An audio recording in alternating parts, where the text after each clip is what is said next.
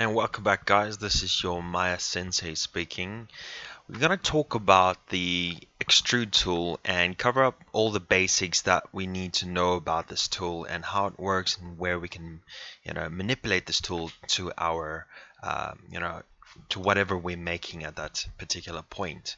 So the first thing we need to do is obviously have access to that. So we're going to make sure we're in the modeling menu set and you will find the extrude tool under the edit mesh window right there you'll see the shortcut control E and then we have some extra options in there if we need to set up an initial set of settings that we would like to reuse over and over and over.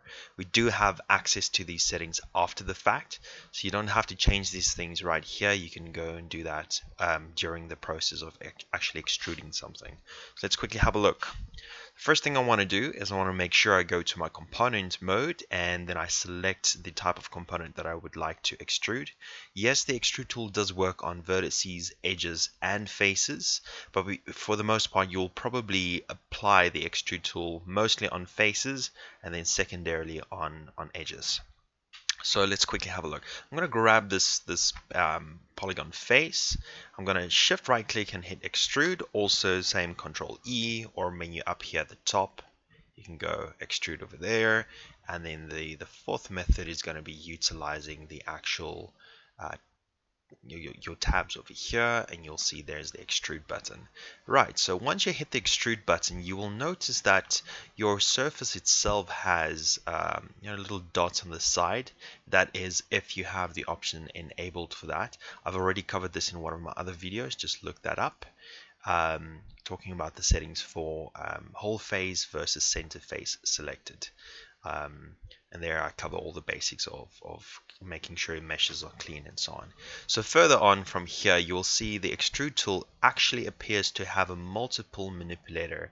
So it's got basically your, your, your translate tool, it's got your scale tool, and then the circle on the outside is your rotate tool. So if we click on the actual arrows, you'll see it pulls up or it moves across in whichever axes. You also have the option of using the cubes to scale it in either non-uniformly or uniformly using this outer cube over there and that maintains the proportion of that inwards. The same functionality technically applies using this, this floating window that pops up.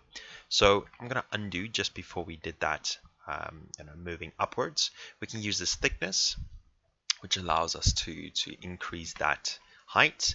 The local translate Z does basically the same thing. It's just two different ways of doing it. So if you pull it up here, you'll see the translate Z goes up, whereas the thickness might be more of a like a specific value in centimeters instead of an arbitrary value so that's very useful.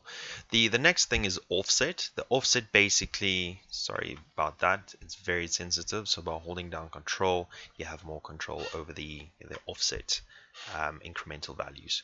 So looking at that we can then kind of create a little frame before we do something else like hitting another extrude and then pulling up from there. So it's not extruding directly from the outer edge so that's very useful. I'm going to hit Control E once again, use again a little bit of an offset, and then Control E to push that down. So a very quick, very easy way of adding offset details and just keeps adding to it every time you hit the extrude button. So from here, at any given point, we can then go for that particular extrude. You will see that there is a divisions section in there, which allows us to add more divisions within that um, you know extrude that we push down. And then from there we could go and use the offset to kind of pull that in to kind of create some sort of a you know offset effects. We can maybe pull that up instead and you'll see it maintains that division split across that particular extrude whether it's all evenly split. So from here you'll see that there is an option that is called keep faces together. I'm going to show you guys on a different area I'm going to go and hold down tab, click and drag over a selection of faces and then hit Control E for extrude and you will see now it basically creates the border of the extrude on the outside so that they all follow along for the ride. It seems like I had that face selected there previously. Let me quickly go deselect that and then hit the extrude button once again.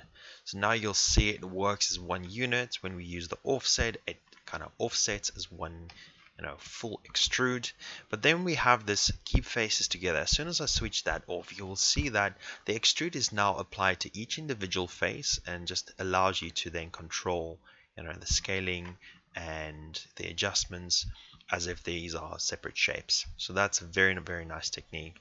Then finally, the taper will only work if you actually use it with a curve extrude. So I'm going to show you guys again how that works. First thing that I want to do is I want to go ahead, create a curve. Uh, let's use an EP curve for now. The options, I'm going to make sure the settings are reset. So it should be 3 cubic. And then from here, I'm going to hold down V for vertex snap. I'm going to click on that center dot.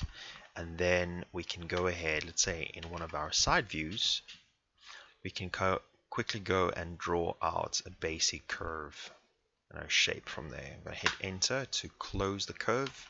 I'm going to jump back to my perspective view and we can quickly see what's happening here. So what I'm going to do now, I'm going to select that face um, in component mode and then I'm going to shift select the curve that is currently in in object mode and to do that you've got to make sure that only the selected object is in component mode so that it maintains the object state but yet that particular object is in component mode.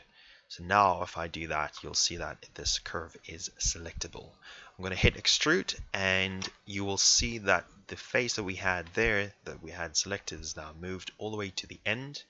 And so we basically want to make sure that this guy follows the path and all the way around.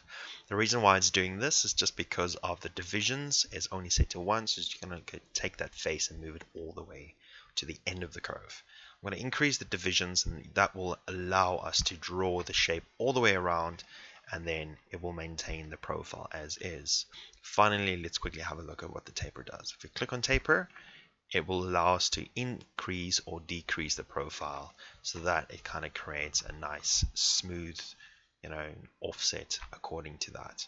So this is a short list of attributes. You can always look for more attributes if you feel you want. Like for instance twist is quite a nice feature especially when you have something extruded along a curve. You can use that then to kind of twist the curve profile to kind of allow you to have more of an abstract extrude if that's what you wanted. So that's the basics for the extrude tool Hope you guys enjoyed the video. I will see you guys in the next one. Cheers.